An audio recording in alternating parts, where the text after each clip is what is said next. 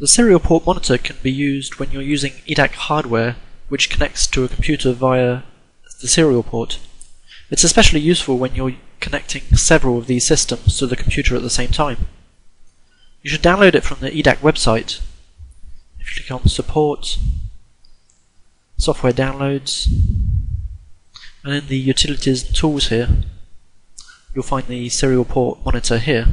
You'll have to register with the eDAQ website.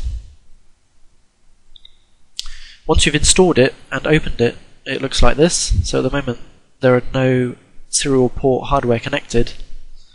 If I connect one system, here you'll see the computer's detected it. Uh, so on port COM7, it's detected the ER230. This is the high voltage sequencer. If I connect other hardware, it's detected on COM8 the EPU 358. This is a RTD isoPod.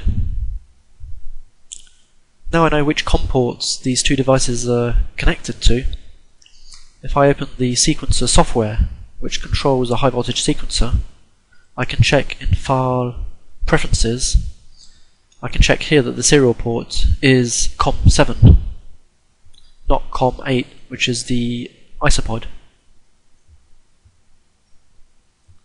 If I open the Pod-Vu software, which controls the isoPods,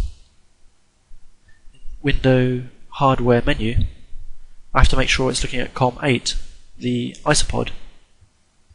So once I select this, it's recording as normal.